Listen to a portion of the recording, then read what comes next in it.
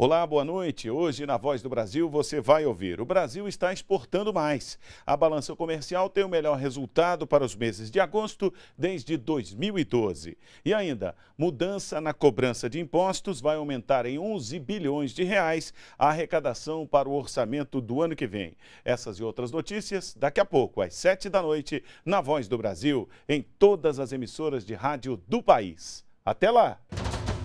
Basta.